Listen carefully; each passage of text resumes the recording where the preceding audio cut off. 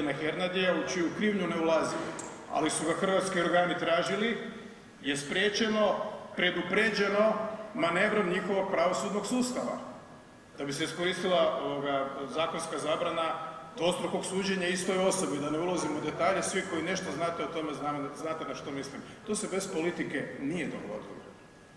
I formalno su, dakle, zadovoljeni kriteriji da se čovjeka ne izručuje. To politika je ili INA e, što se tiče mađarske strane u Zagrebu napućena stručnjacima za energetiku, za downstream ili upstream, ne, financijašima prvenstveno, ljudima koji kontroliraju novac. Ovo nije nikakvo, dakle, vrijednosno opredjeljenje s moje strane, da bih rekao da su to manje ili više vrijedni ljudi. Ali odabir, selekcija kadrova pokazuje koje su intencije. Intencija je kontrola, prije svega, a tek onda i zarada.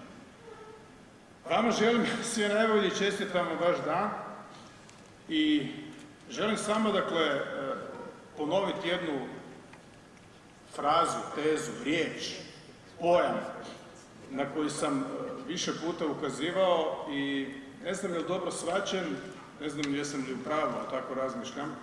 Dakle, država, posebno država koja je nastala na način na koja je nastala naša, ali i svaka država, je svrha i smisla sama sebe. Ona je najviši cilj. Posebno država koja je nastala u ratu kao naša. Nju štitiš, to je temeljna i najviša vrijednost. Nekome je to Bog, vjera, priznajem, ja nisam takav, mnogi ljudi jesu. Ali na ovom svjetovnom tržištu stvari, dostupnoga, to je naša država. Nju moramo braniti svim mogućim civiliziranim dostupnim sredstvima, tako da drugima ne budemo vjerolomni, prijetvorni, pokvareni, da budemo lojalni koliko je to moguće, ali da gledamo svoje interese. E sad kad bi djeci rekao da se to radi tako da budeš sebičan, krivo bi ih odgajao. To je riječ koju dijete od majke i oca ne smije čuti, a opet mora razumjeti.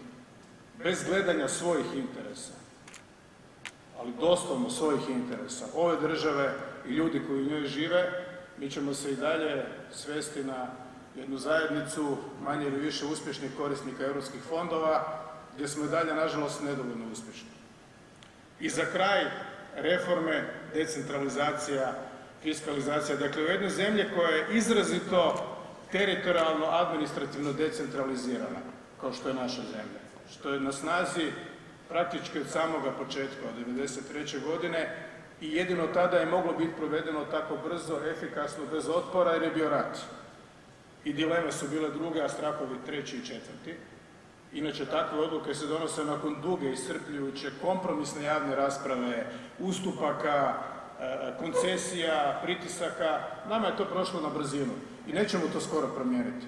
Bojim se uopće reći i pomisliti u kojim okolnostima bi se Hrvatska morala naći da postojeći sustav lokalne samouprave i distribucije upravljačke vlasti promijeni. Imamo to što imamo. Visoko smo decentralizirani, fiskalno smo precentralizirani ova mjera sa ukidanjem prireza, ok, u redu, prek noći, prek plota, tek tako, dakle reći ukida se prirez, pa se ti braco snađi sa ne znam milijardu kuna u Zagrebu ili ne znam koliko u Rijeci i Splitu. To sa stajališta ono nekakve sportske etike nije fair play. A da ne govorimo o mogućim političkim motivima za takvu odluku. Ili recimo centralizacija bolnica, lokalnih bolnica koje su da se ne lažemo, dakle isto tako kadrovski rasadnik, nažalost tako je u hrvatskoj politici. One su opet centralizirane, dakle šta su, županije će sada biti po novom sustavu e, najmodavci prostora. Šta preostaje Šibenskoj ili ne znam, Istarskoj županiji, da da državi u najam prostor koji ima, ništa drugo nema. Nema strojeve, nema opremu, nema ljude, ne isplaćuje plaće. Koji je smisao takve samouprave? Ili porezna reforma. Mislim, taj misnomer, ta kriva, kriva taksonomija je počela u vrijeme dok sam bio premijer 2015. godine, to voliš čut kao vlast, kad ti govore provodi se reforma. Kaj se, kakva reforma se provodi? Pa smanjuju se marginalne porezne stope na ove inženjere i ovu ekipu koji, koji su naše najveće blago. I jesu. Koliko njih ima, tih koji imaju plaću u najvišem razredu? Koliko ih ima? Koliko ih je bilo 2015. u Hrvatskoj? Manje od 15 tisuća. Danas ih isto nema više od toga. Manje od 15 tisuća, 12 tisuća.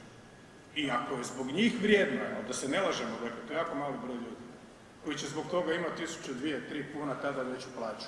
I to nije porezna reforma. Ja je nisam počeo provoditi, a boga mi nije ni ova vlada, nego je samo krenula istom metodologijom, dakle, rezanja marginalne porezne stope. I porezi u Hrvatskoj nisu visoki.